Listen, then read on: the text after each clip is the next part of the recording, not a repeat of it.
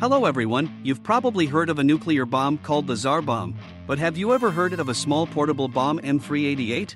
So today we will talk about her, sit down comfortably, enjoy watching. After the first nuclear bombs were created in the USA and the USSR, the development of this type of weapons went in two main directions. The first was to build up power and create delivery vehicles, which led to the emergence of ballistic missiles whose destructive capabilities are even beyond the bounds of common sense. The second way, now half forgotten, was to reduce the size. So when the United States, at the height of the Cold War, the Los Alamos Scientific Laboratory created the M388 Davy Crockett nuclear supercaliber munition, named after American Congressman and national hero David Crockett, 1786 to 1836, which was fired from a recoilless gun. Production was started in 1956, a total of 2,100 weapons were manufactured. Structurally, an atomic projectile consists of a head fairing, a body, four stabilizers and a warhead.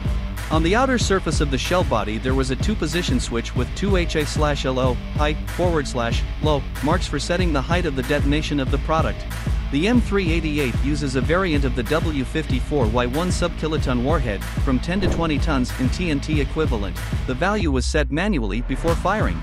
The mass of the MK54 warhead is 23 kilograms.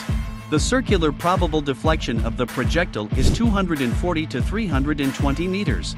The detonation of the bomb was carried out using a timer, which had to be set in advance, before firing, so that the projectile exploded in the air above the target. This significantly increases the destructive power of the bomb.